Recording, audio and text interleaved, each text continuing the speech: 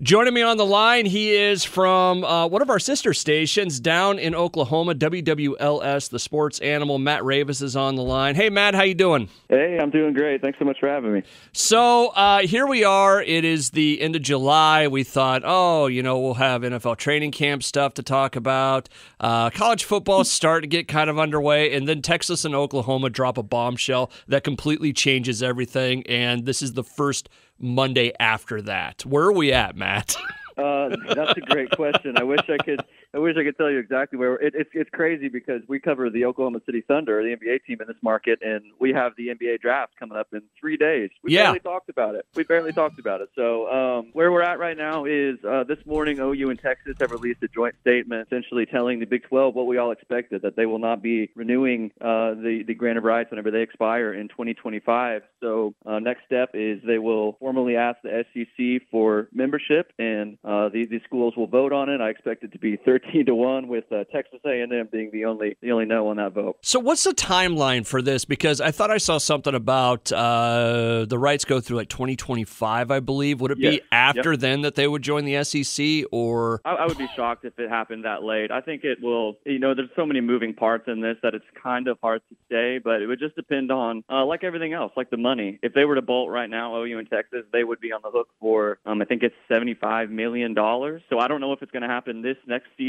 but possibly the season after that, or maybe um, even in 2023. But I would be shocked if it if it took that long because this is obviously a big money deal, and I think that if it came to it, I think the SEC would put up some money, put up some cash to uh, to facilitate this move. because what did uh, I uh, another guy I interviewed last week from Nashville? He's embedded in uh, the SEC side. He said uh, he had read a report that all the teams in the SEC, if this happens, are going to make about twenty million dollars more a year. Yeah. Yep, is that, is true correct. or it is true? Okay, so it almost it's almost one of those things. It's like just buy them out. We'll we'll make it up in like three years. Exactly. So Exactly. Exactly. It's cost. It's cost benefit, just like uh, just like everything else is. So no, for sure, you may lose a little bit of money on the front end, but uh, you're going to make it up on the back end, no doubt about it, and, and then some. Matt Ravis from uh, WWLS, the sports animal down in uh, it was Oklahoma City, correct? Yes, sir. All right. So, um, as we kind of look at this, um, and, and granted, we're talking at a little after 10, uh, 10 a.m. Central on Monday. Who knows what's going to happen from here on out? But uh, this weekend, there were reports that, you know, obviously Texas, Oklahoma going that way. Uh, I saw reports that Kansas and Iowa State maybe talking to the Big Ten. Uh, there was talks of Oklahoma State maybe talking to the Big Ten. There was even talks uh, in an unsubstantiated report that the SEC may have reached out to Ohio State and Michigan. What's true and what's false right now? I mean, eh, Well, yes, and and it's going to be for. I mean, this is this is decades.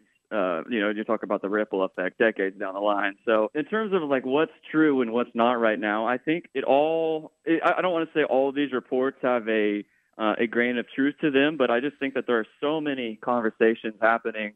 Um, and it makes sense, right? If you think about it, if you're Oklahoma State, for example, you need to uh, examine all of your avenues, and they have a new athletic director. This is his first real big task on the job. His name is Chad Weiberg. Um, he's he's going to be looking for every single avenue, whether it's the Pac-12 or the or the big, you know, the Big Ten, Yeah. or if he would go to, I, I mean, even a lower conference. I think like the AAC um, is not entirely out of the, you know, out of the realm of possibility because you, you, there's no guarantee that those the Pac-12 or the Big Ten would want to take them. So I think that a lot of these, uh, there's just so many conversations going on right now, Adam. That, um, I think I think all avenues are being discussed. think about one of these lower tier conferences. All of a sudden, they could get an injection of Power Five teams in them, and all of a sudden, it's a completely different conversation for them. But as you're kind of looking at this, I kind of look at it as dominoes. Uh, you know, this was the first one to fall. What's going to be the next thing that happens? Let's say, let's say that uh, sometime today, Oklahoma and Texas announce formally that they are doing the SEC thing. Okay, let's take that step. What's next after? Does the Big 12 implode? Does the Big 10 eat it? Uh, the, what what do you think is going to happen next? From the Big 12 standpoint, I think that they all these schools do everything they can to try to stay together. Um, and again, it's just a cost benefit thing because so much of the value, so much of the revenue they receive every year, I'm talking about these Big 12 schools, are because they play Oklahoma and Texas Yeah. because those they put those on TV every year. So is it worth staying together? How much how much less are you going, or how much um, yeah, how much less money are you going to make if you do stay together? So my prediction is that ultimately, I do think that the Big 12 is going to kind of implode, like you said. I think there will be a um, a kind of mass exodus as these schools are saying, well, we're not going to wait on, on on the ship to go down. We're going to go ahead and find a life raft. So I would imagine that that's gonna that's gonna happen here in the next few years, and that could accelerate or maybe, maybe in the next year or two, and that could accelerate Oklahoma and Texas going to the SEC. What is so wrong with the Big 12? Because we had issues with this. Yeah.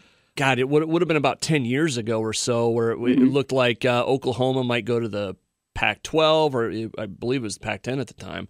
But what what is it about the Big 12 that people don't want to be in it? And, and, the only reason that that got stopped is because I believe that there was um, there was political pressure put on by you know the legislature in Texas that they didn't want to split apart these Texas schools. So, and I don't think that's going to happen this time. So that's a great question. Um, you know, Joe Castiglione has been upset about some of the kickoff times that they've been yeah. they've been handed by Fox. A lot of 11 a.m. kickoff times, for example, that Nebraska game, 50th anniversary of the game of the century. Joe Castiglione is the athletic director for Oklahoma and that's been his baby. Yeah, but that's you been know, his project. You know and, what and though? He's, he's upset about stuff like that. Yeah, yeah. You know what though? With that game though, uh, Oklahoma is clearly on a different level than Nebraska.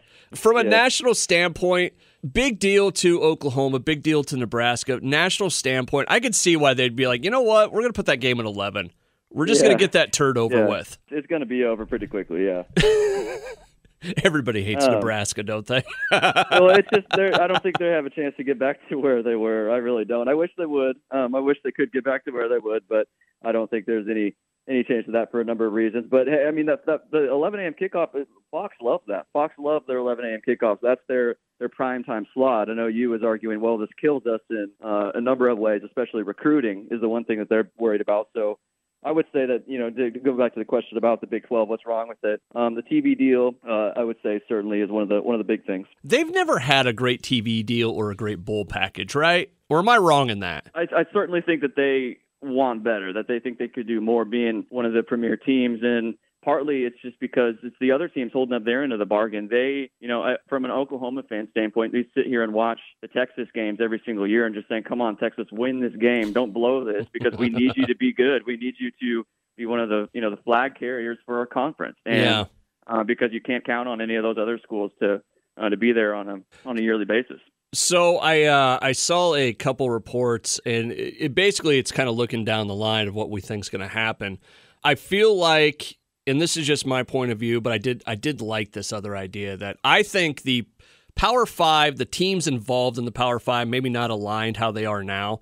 I think they're going to break away from the NCAA at some point and just do their own thing. But mm-hmm. then I saw somebody say that, uh, especially with the report about Oklahoma and Mi- or excuse me, um, uh, Ohio State and Michigan, with the SEC calling them, it's like, is the SEC just trying to turn it, do its own thing and be its own kind of little NFL? I've got to tell you, I think that's exactly where it's headed. I really do. And then you go, Mark Emmert, the president of NCAA, I think just two weeks ago was talking about how we need to decentralize. We need to give up power to some of these schools. Um, so I think he realizes where this is, you know, where where this landscape is going. So yeah, no, you're right. I think ultimately they do break away the, from the NCAA because they don't need them, and you're. I think it would be essentially a a minor league for the NFL. Yeah, I think that's exactly where it's headed. Actually, it'd be it would be the minor league that uh, the NFL has always wanted instead of like yes. uh, who was the uh, the amateur football one? Uh, uh, oh, it wasn't the XFL.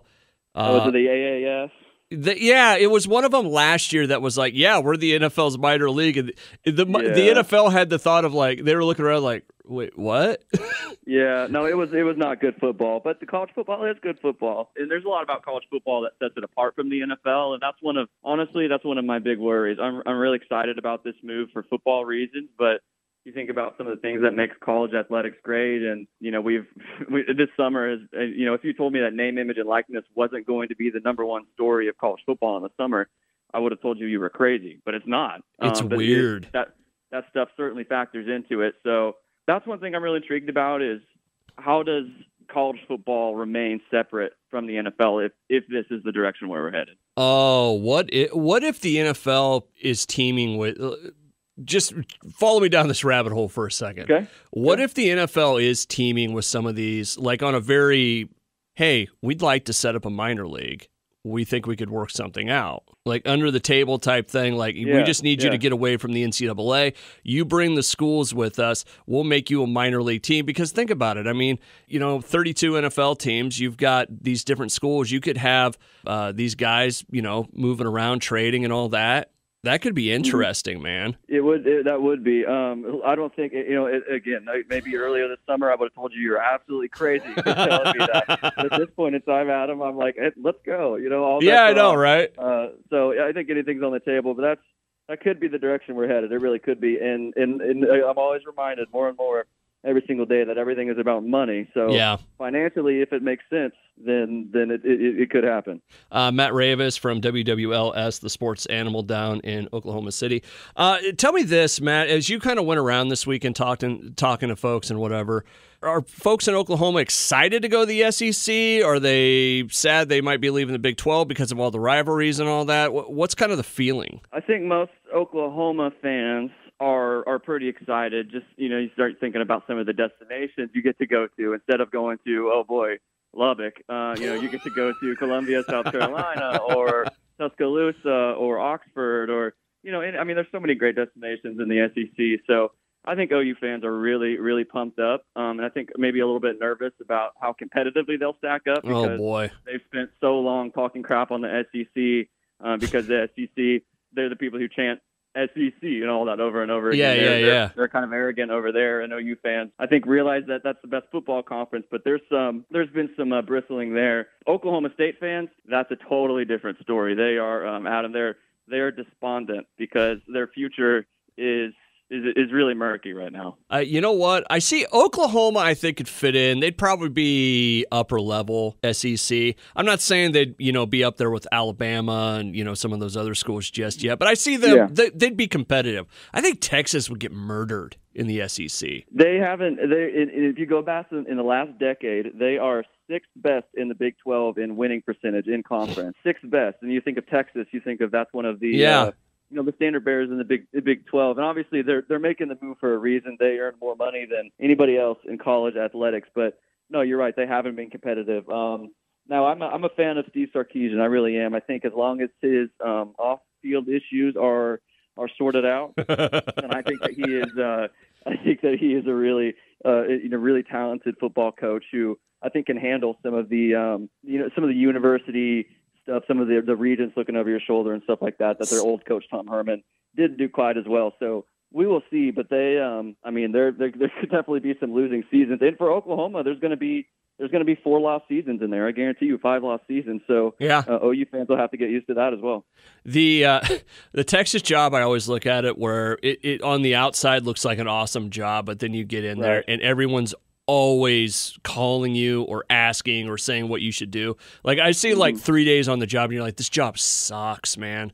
Oh yeah. Oh The- yeah. No, it's like uh, someone someone talked about it, and I, I wish I could remember who it was so I could add, attribute it. But basically said it's like having seven Jerry Jones looking over your shoulder uh, the entire time, but with, you know between the regents and all that, and you got boosters, and yeah, no, I, I completely agree, Adam. All right, so uh, let's uh, let's start wrapping this up. Matt Ravis from uh, WWLS, who by the way has family here in uh, Central Iowa, so uh, hopefully they're listening right now. Uh, you can catch Yes, them on the sir. middle of the day show uh, after uh, afternoon sports beat. Correct. Also, Mm-hmm. All right. correct. uh, you got socials out there. Yeah, just uh, at Matt Ravis. Uh, Ravis Okay. spelled R A V I S. All right, we'll get that on the website as we kind of wrap up today.